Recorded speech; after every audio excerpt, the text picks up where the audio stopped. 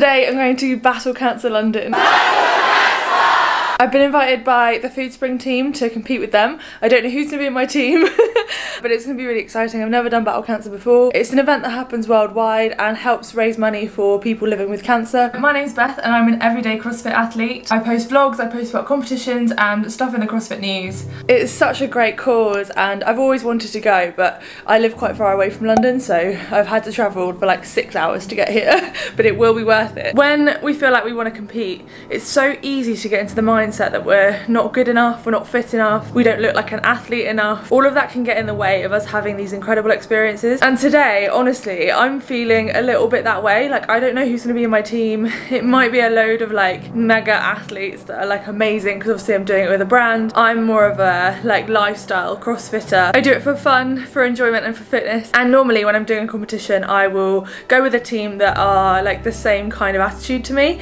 But this time I, I have literally no idea who I'm gonna be in a team with. So my only worries are they'll think I should be better than I am. But Battle Cancer is like an inclusive event. I don't think there's any like complex gymnastics or barbell. A lot of body weight, some like machine stuff, and then some like lightweight, like ground overhead and kettlebell swings. I've also got quite a lot of like social anxiety and I'm going on my own. So this is huge for me. Sometimes it's not just the competition that's the scary part, it's actually going and being in a room with like hundreds of people that you don't know, like that, that for me is hard. It doesn't really get easier, but you know that the anxiety is going to pass within the first workout or the first couple of hours so that's what I'm hoping for. right I will see you at the comp.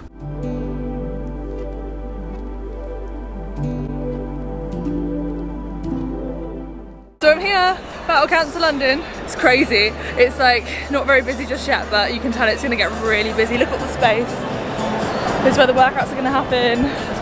There's loads and loads of teams. It's gonna be super exciting. I still don't know who's in my team. I don't know what the workouts are yet, but I think we're gonna have a briefing soon and they'll go through all of that. I am feeling a little bit less nervous now I'm actually here. Look, there's so many kettlebells. I don't know what that's for. We've got some D-balls and a rope. I love a D-ball, but I don't know what the rope's for. Hopefully not running. Good morning! Two, one!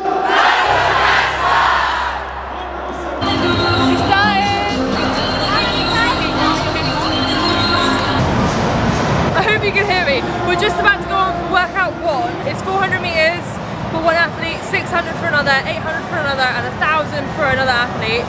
And then there's like a complex of D-ball clean. The other athletes have to hold in plank. It looks like really good fun. Again, it's all really inclusive. The D-balls are all different weights. You can pick whatever weight you want. And it's for literally any ability. And if the athlete can't do one of the movements, they don't have to. The point of this whole event is to raise money for cancer charities and it is amazing. At the beginning Scott was saying that last year they raised over a million pounds for cancer charities and this year hopefully we'll break that record. This happens all over the world, there are loads of battle cancers that you can do and I definitely recommend it. It's so exciting so far, I can't wait to show you the workout.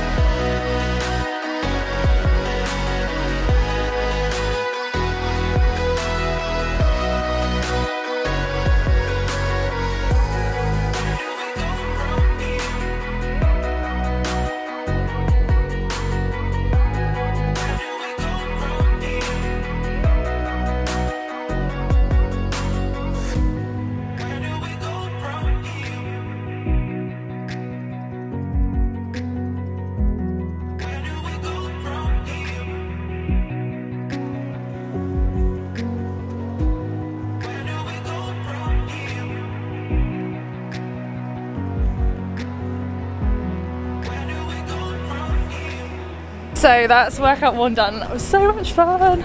I only had to do the 400 meters because I'm not a runner. I loved the D-ball. Yeah, it was good. We got quite a lot of D-balls done. My day strain is already at like a 12, which is crazy because I've only done one workout and it was only nine minutes. The main thing that I can take away from this so far is that Battle Cancer is so inclusive. The atmosphere is amazing and people are raising so much money for lots of different cancer charities and that is so cool. So the next workout we've got has got some dumbbell deadlifts, dumbbell shoulder to overhead, um, some rowing, just some other fun stuff. I love competing generally because it's a completely different vibe to like a competition where everyone is just like competing to win. Sorry, my battery died. There's like gyms with like 50 teams here, huge groups of people from all different walks of life, different even different sports, like not everyone here is from CrossFit, which I think is really cool. So grab together like your community and bring them here because it's so much fun, especially if you've not done a competition before. I think this is the perfect one to do. So I'm about to go on for our next one.